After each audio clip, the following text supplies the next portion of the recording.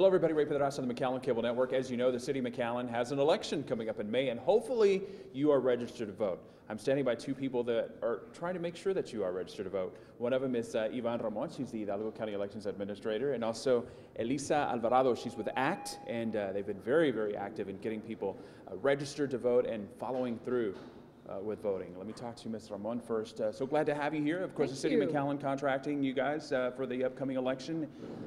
Some interesting races and That's a lot of right. people getting getting ready, right? That's right. We've got the City of McAllen and the School District of McAllen that will be hosting elections. And so we are preparing already for the early vote and as well as Election Day on May 11th.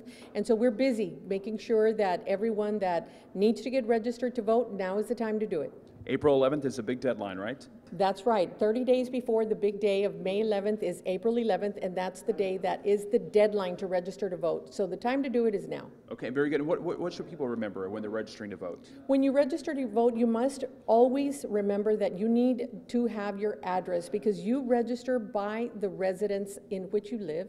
And so make sure that you have your full name as your identification because the state checks your name with your residence and your ID. It goes through the state database. So a lot of people use a nickname and they're not using their full name, and so that delays the registration. So make sure that you use the name as it is on your ID that you are using.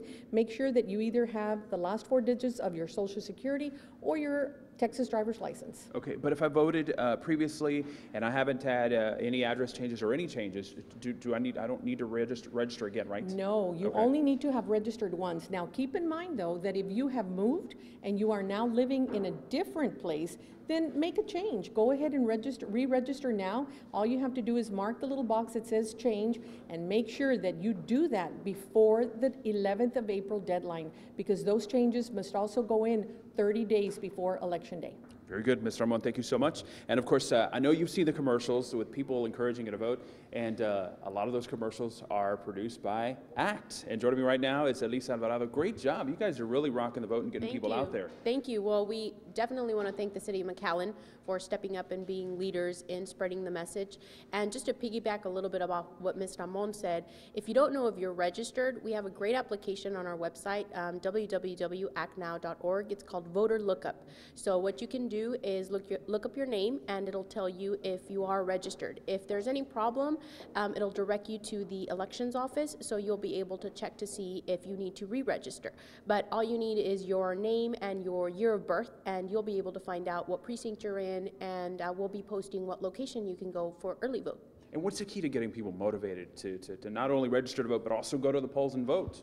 Well, I think as our second public service announcement is going to show, the key to getting people motivated is making them understand that their vote is a domino effect, and one thing affects another. So if they are voting for the first time, they're making a mark, and if they're voting again, they're voting for their children, they're voting for their parents, they're voting for healthcare, for infrastructure, for the veterans.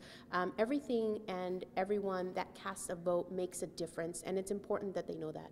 Very good. Eliza Alvarado, thank you very much. And of course, you can be on the lookout for those ads because we're going to be airing them right here on MCN. We thank you for watching. I'm Ray Pedraza on the McAllen Cable Network.